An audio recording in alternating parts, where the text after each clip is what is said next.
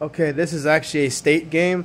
This is between the Florida Gators and the UCF Knights. It's the Gasparilla, whatever it is called, bowl game. Still a bowl, still something to talk about. The Florida Gators are coming off a disappointing regular season, but they're coming off probably their best performance of the season.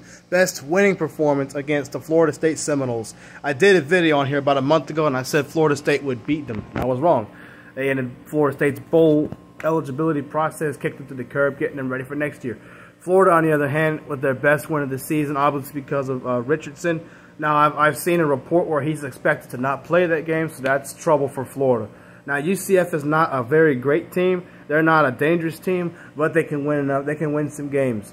Uh, plus, Gus Malzahn is a winning coach. He knows what he's doing. So, uh, I got to go with UCF in this game since um, since uh, Richardson is not supposed to play. Now, if Richardson is supposed to play, they can beat UCF pretty easily.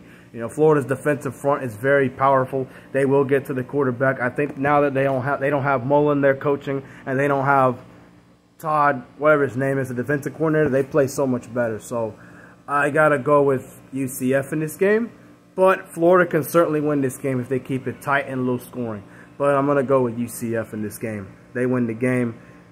24 to 20. I don't think Florida can muster up enough offense with Emory Jones running the show. He threw three picks against FSU in the first half, and he's going to throw about like that, maybe more throughout this game. He's costed them too many games. He's going to cost them one more. But again, if it's Richardson starting at quarterback, they beat UCF by at least two touchdowns.